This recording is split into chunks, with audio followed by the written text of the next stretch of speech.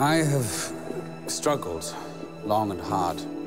I've tried in vain to quieten the feelings I have for you, knowing that such a match would, in so many ways, be a dereliction of duty to my rank. Not to speak of the connection to your family, whose status is so decidedly beneath my own.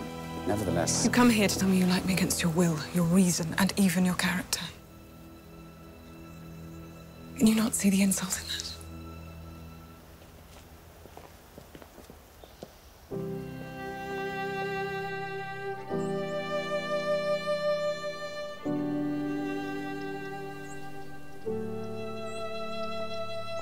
Lizzie? Lizzie?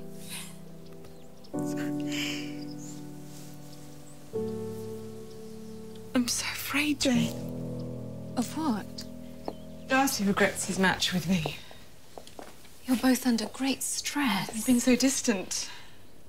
I keep remembering the things he said the first time he proposed. Oh, our family, duties. But he changed, Lizzie. You changed him. Our marriage has brought George Wickham back into his life, and as a brother, too. He knew that before you were wed. He chose you with his eyes wide open. I've always comforted myself with that thought, but don't you see this is different, Jane? Wickham is accused of murder. That grave in the woods today belonged to a man who brought shame and scandal to Pemberley generations ago. The same could happen again, and this time it would be my fault. Lizzie, no. No.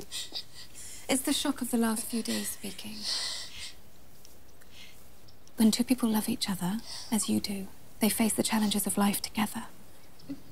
You know your husband, Lizzie, as I do mine. He could never think about, thought about you if he tried.